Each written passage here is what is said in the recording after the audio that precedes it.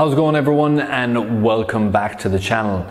This video today is going to be a continuation on the Merc timing chain videos that I have done. So this will be the third installment in this playlist. If you haven't already, go back and check videos one and two which show the fault that presented also the failure that occurred and now in this third installment it is the timing chain. What I'm going to be showing in part one of this video is the timing chain removal with the camshaft adjusters, how you separate the chain, how I did it in the workshop, the tool I used, and what's involved in it. There isn't a lot of information out there on the separation of the timing chain on these vehicles. I have found when I looked after doing this job that I couldn't actually see anybody show close up how that timing chain is separated and then how it's put back together again. Uh, I'm going to make this into two parts, and this first installment is going to be getting in there, removing the chain, seeing me separate it, and then in part two, you're going to see me uh, install the chain with the new camshaft adjusters and how I set it all up afterwards. So, without further ado, let's get into this video. Before I jump into the voiceover step-by-step stage on this video, I just want to get you up to speed on where I am and where the job is setting as I do that. So firstly, I already have the vehicle all timed up. The timing marks are all aligned. I have the camshaft special tool uh, locker in place. That's kept in place by the rocker cover Torx head bolts that I use. So you use two of the rocker cover uh, Torx to um, keep that camshaft locker in place. I have removed the timing chain tensioner and the camshaft adjusters are about to come out. Now to remove the camshaft adjusters you're also going to need a special tool which is the T100 Torx. That is to remove the camshaft adjuster oil control valves. That is what's keeping those in place. And to remove those, I also highly recommend you get a slim 32mm head spanner to hold on the end of the cam so it keeps it nice and solid. I get another teammate to hold that 32mm while I loosen the T100s. Okay, with that said, let's get into the step-by-step -step play on this. So I've got the T100 on the end of my long ratchet. I have a teammate holding that 32mm and I'm loosening off the intake side. And then switching over the 32 mil on the other and I'm telling them to keep tension against it because we don't want any pressure on that camshaft. And then these are extremely tight by the way as well. Uh, there is two different newton meter settings on the different engines. One is 90 and the other is over 100 uh, this particular engine is over 100 that these get uh, tightened down so I have it loosened off now, so I don't need um, anyone else's help from this stage onwards. That 32 mil um, spanner that I'm using there is actually a regular one that I had got, but I ground down the head to suit this. I know there is some um, uh, drive belt ones out there, I believe, that have a slim head. I didn't have one, uh, and I had that spanner to suit. Uh, that is the spool valve, uh, or the control valve, the oil control valve. Uh, that has come out on the intake side and I am taking it out here on the exhaust side now uh, remember I have the timing chain tensioner already removed and I have the cam lockers in place before I got to this stage. You'll see there that I have all these little clamps around. That was to uh, keep the chain in, uh, in position as I'm removing these. I do mess about and uh, change that up using these uh, needle nose vice grips uh, and later on I use some cable ties as well you can use pretty much whatever is suitable for you just to keep the timing chain uh, tension uh, so it doesn't fall down into the timing cover. This is me removing the exhaust side now. I remove that clamp on the lower side so it's able to be uh, tilted and lifted out of position. I then re-put in the clamp uh, just where the guides are and then I uh, put a clamp on the top side of the cam. Now it's all in position, you can kind of get an idea of what it looks like, but the next process I decide to do is I need to create an area that is safe for delinking the chain. This is what I come up with. You can come up with whatever uh, method you want, but I was very conscious of not dropping anything into the timing cover. So I thought uh, a cardboard cutout with the angle slanting away from the timing cover. Should any of the links um, uh, separate or I drop any tool or anything breaks away, it's not going to fall into the uh, timing cover area. That was why I set it up like this. It also puts a nice bit of tension on the chain and we get a clear visibility. Now using the special tool here, um, you put it so there's two pins in either link that you need to push back and you need a 13 mil spanner and a 19 mil. I'm using the 19 mil here to apply the initial bit of pressure on the pin.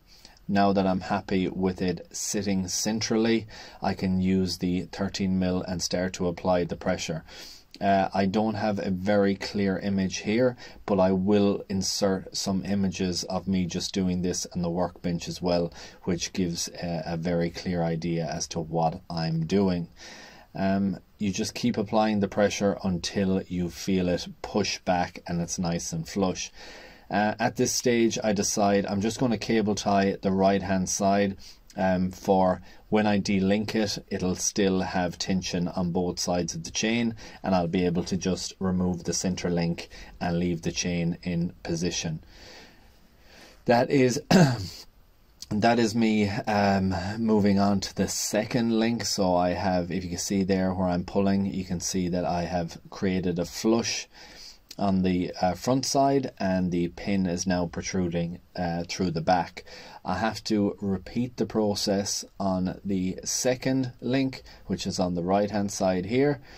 And once I have that done, it will give me uh, enough room where I'm able to take uh, the link apart then. So same process again, we apply um, some pressure just to sit on it with the 19 mil and then I'm getting the 13 mil spanner and I'm pushing pushing it through while holding on the handle and trying to keep it as steady as possible. Uh, viewpoint is not amazing in this position and um, I am using the tool upside down to do it. I found this was the best way for me personally to be able to delink the chain. And like I said um, I haven't seen anybody else uh, have any videos on doing this but I found this process to work uh, very well for me. And it was nice and safe in regards to having everything covered up from uh, creating any um, dirt or debris falling down in the timing cover if you can see there, you can see the two um, pins are pushed back now. And what I decide to do is get a vice grips on the back side of the pin, just so I have a stability um, where I can kind of rock on the front. Uh, I did that a little bit before I got my flat screwdriver, and then I'm just removing the outer part. So that actually slid out of my hand and ended up on the floor and this is the second part of that link. So that's the inner part. But this chain can now be separated because I have removed both of them. So you'll see me here grab on the vice grips and I'm able to just pull that back and we have now delinked that chain. Uh, this is the outer part that slid off uh, slid down the cardboard and onto the floor I just use my magnet to pick it up and I keep that separate because I end up using that again when I'm uh, putting the old one on to the new one. I move uh, the chain back out of position and then I'm able to just remove the cardboard. You can kind of see the uh, layout now. It has finally been uh, delinked and that is a step-by-step -step guide on how you do that. If you look just directly down there, I have pushed on the pin.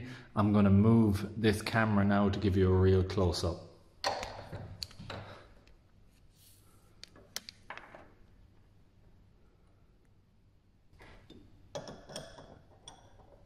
And then we simply rotate, tighten this down.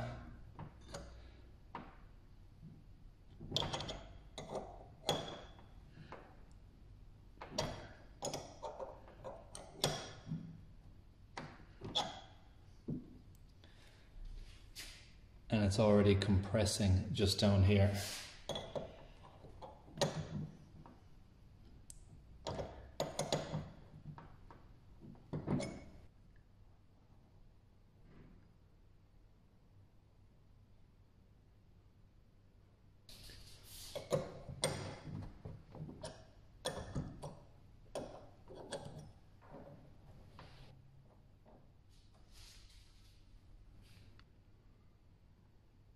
We look just there, we can see that the pin has been pushed down.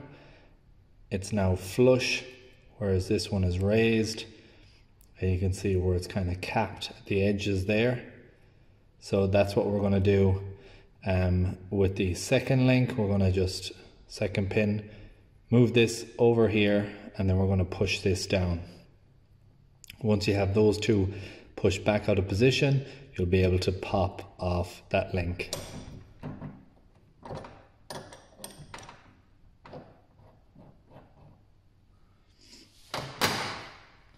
You can see how these ones are now flush. That one needs to go down a tiny bit more really, but we should be able to pop this link off. See the way they're nice and raised. This is flush. And if you look on the underside,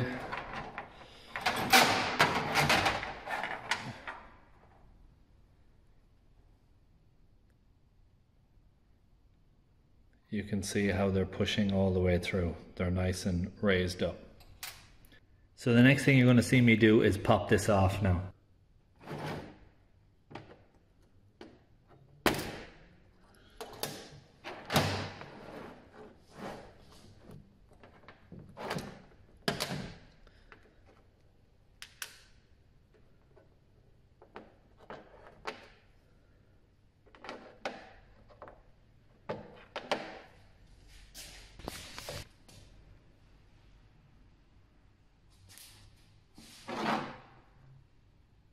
And that is how you de-link the chain. And that is all for this video, guys. That is how you de-link the chain. In part two, I'm going to be showing you how you relink it with the old one to new one, cycle it through, how you connect the link up securely in place, and also how you set up the timing. So stay tuned for that. I will have that posted to the channel in the very near future. If you're interested in any of the tools that I used or the previous videos that I've done on this, all the relevant information will be posted in the description below. Really hope you enjoyed this video. Hope you got some useful information, found it informative. If you did, please like, share, comment, and subscribe. And I hope to see you in the next one. Thanks for watching.